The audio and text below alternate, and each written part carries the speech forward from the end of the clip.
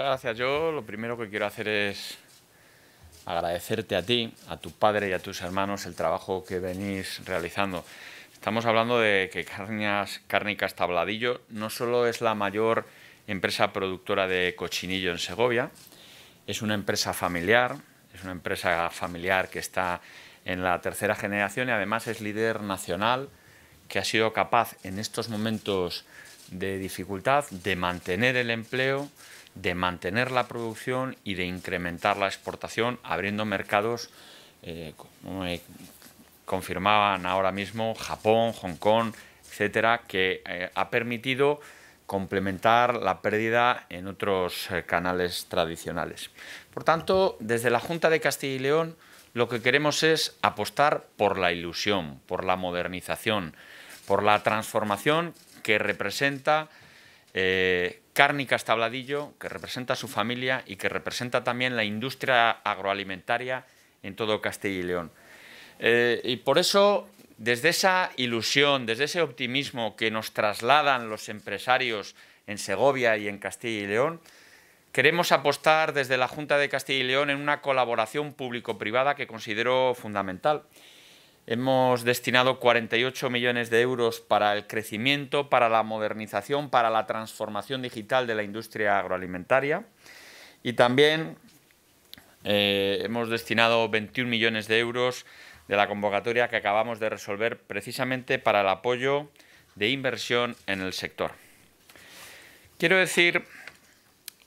también que son ayudas a 46 empresas, la mayoría de ellas son pymes,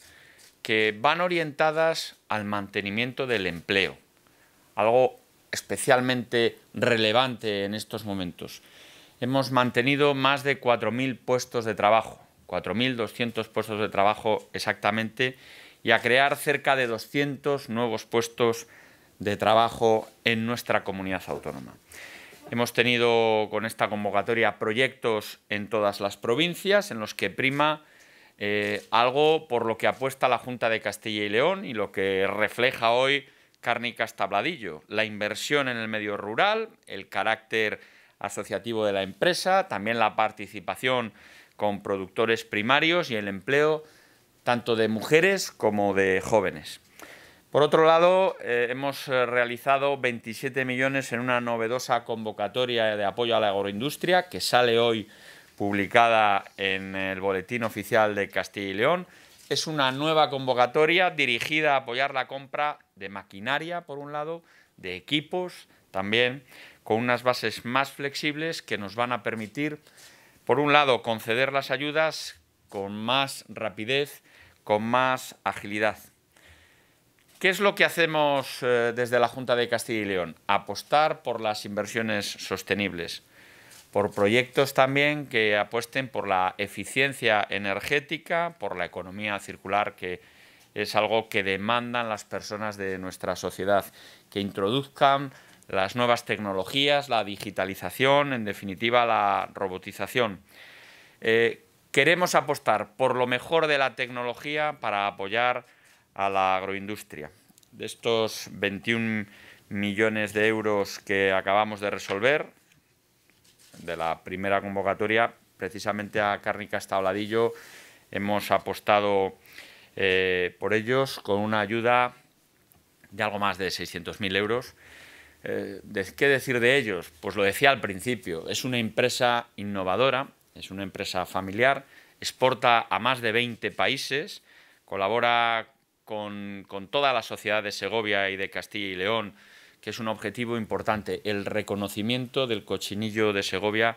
como indicación geográfica protegida. Estamos movilizando en conjunto en todo Castilla y León y también en Segovia un gran volumen de ayudas a la industria agroalimentaria. Somos la comunidad que más apuesta por la industria agroalimentaria y quiero insistir en que para nosotros, desde la Junta de Castilla y León, es una prioridad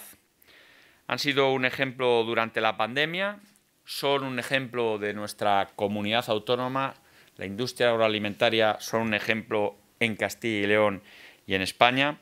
y el esfuerzo que realizáis, y te menciono a ti en nombre y representación de toda la industria agroalimentaria de Castilla y León, pues eh, desde luego merecen el apoyo de todas las administraciones públicas y en este caso en concreto desde la Junta de Castilla y León. No estamos esperando a la llegada de fondos europeos de nueva generación para apoyar el sector. Consideramos que es imprescindible desde el momento que empezó la pandemia apoyar desde la Junta y lo estamos haciendo con fondos propios y con ayudas reales y concretas que ya están recibiendo la industria agroalimentaria. Por tanto, estamos al lado de este sector que es esencial en Castilla y León. Son 3.000 empresas, 38.000 empleos directos y una cifra de negocio anual en torno a los 10.000 millones de euros, que se dice bien y pronto. Por tanto, es un sector estratégico que pone en valor el trabajo en el campo, que tiene también un fuerte efecto tractor en términos de empleo, especialmente eh, en el mundo rural. Y cuando hablamos de empleo y de oportunidades en el mundo rural, es también el incremento, el mantenimiento de la población en el mundo rural. Fíjense, este sector es un sector que exportó el año pasado, por valor de 2.400 millones de euros, con un crecimiento de un 30% respecto a los cinco años anteriores y que consideramos que tiene posibilidades de crecimiento en este año y en los próximos años. Como conclusión, Cárnicas Tabladillo, el sector agroalimentario en Segovia y en Castilla y León son un magnífico ejemplo de la ilusión, del optimismo, del futuro que tiene Segovia y Castilla y León, de las posibilidades de futuro que tienen para los jóvenes y para la población en nuestra tierra. Y por tanto, hoy, desde luego, para mí es una satisfacción estar con vosotros, David, con tu padre y con tus hermanos, y agradeceros el trabajo que realizáis en vuestro nombre a toda la industria agroalimentaria de Segovia y de Castilla y León. Y a partir de aquí, si quieren realizar preguntas, estoy a su disposición.